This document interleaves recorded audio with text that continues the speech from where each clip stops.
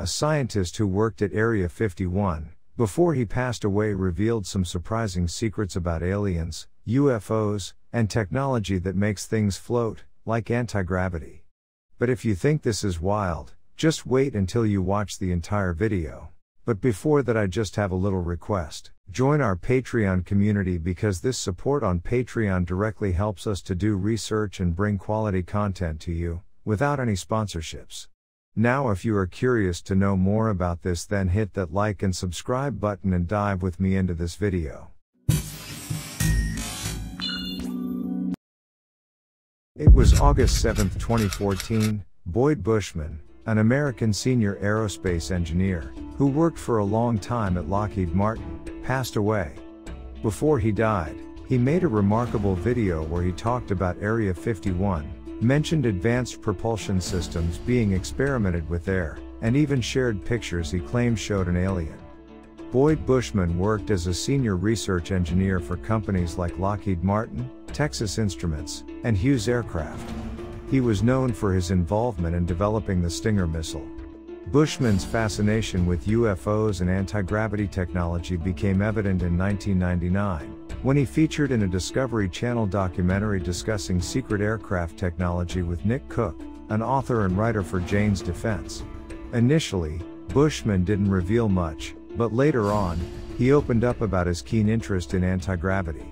Later, in 2007, Bushman appeared in a lesser known documentary called From Here to Andromeda by David Sereda. In this documentary, Bushman delves further into his thoughts on UFOs and anti gravity. In 2008, Bushman underwent a polygraph test where he confessed to working with anti gravity technology at Area 51, being involved in alien technologies, studying an alien spacecraft, and even claiming to have made physical contact with an alien being. He also mentioned his acquaintance with Lazar. He shared UFO photos he had received, some of which depicted ships that were supposedly very close to the photographer but were hard to see clearly. He also showed a picture of a blurry light, which he claimed was what the crafts looked like when they powered up. Next, he showcased a series of photographs featuring an alien being. The creature resembled what one might imagine an alien to look like, with a large head and eyes. He described them as having five fingers, five toes, two eyes, and webbed feet. They are about five feet tall, ranging from four and a half to five feet.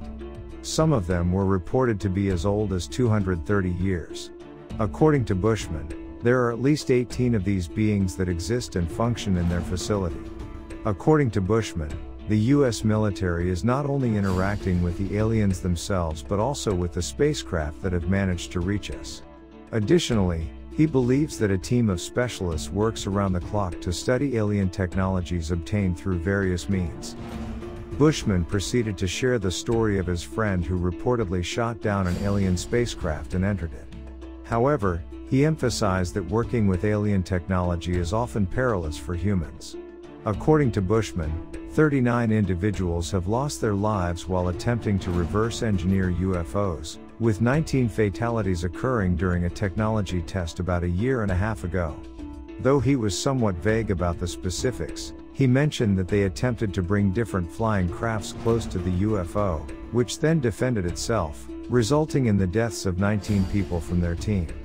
The entire situation could easily be dismissed as the fantastical tales of an elderly individual.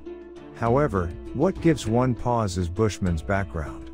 Why would a highly respected scientist start fabricating such outlandish stories? Let us know that what do you think about this? If you want to see more such videos then hit that subscribe button and I will see you in the next video. realm of the unknown where the truth is revealed no longer alone. Brings a fire, spitting facts.